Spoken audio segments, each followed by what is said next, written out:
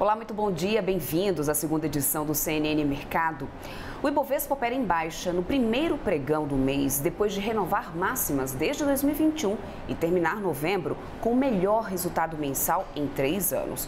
Os investidores seguem acompanhando falas de autoridades importantes, tanto aqui no Brasil quanto lá fora. A ação da Vale sobe, mas não consegue compensar a queda da Petrobras e também a virada negativa dos bancos. O dólar tem leve alta frente ao real na expectativa pela fala do presidente do Banco Central dos Estados Unidos, Jerome Powell. A avaliação é de que ele pode dar pistas sobre o futuro dos cortes de juros por lá.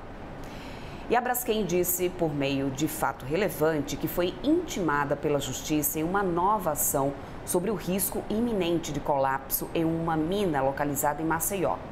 O valor atribuído à causa é de um bilhão de reais. Na quarta-feira, a Prefeitura de Maceió decretou estado de emergência e vários imóveis tiveram que ser desocupados. As ações da companhia lideravam as quedas do Bovespa hoje com mínimas superando 9%. As ações operam em queda agora de 7%.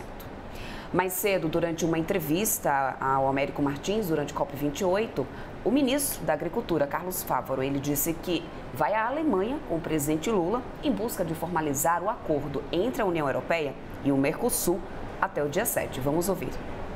Sigo junto com o presidente Lula é, para a Alemanha nas tratativas finais, na busca de um entendimento entre Mercosul e União Europeia para que isso seja formalizado até o dia 7, quando termina o período da presidência do presidente Lula. A expectativa é boa, é, não posso adiantar se, vai, se a gente vai chegar a um bom termo, mas está bastante adiantado e a gente quer então, no próximo dia 4, acertar os últimos detalhes deste acordo importante, tanto para o Brasil, para o Mercosul e também para a União Europeia.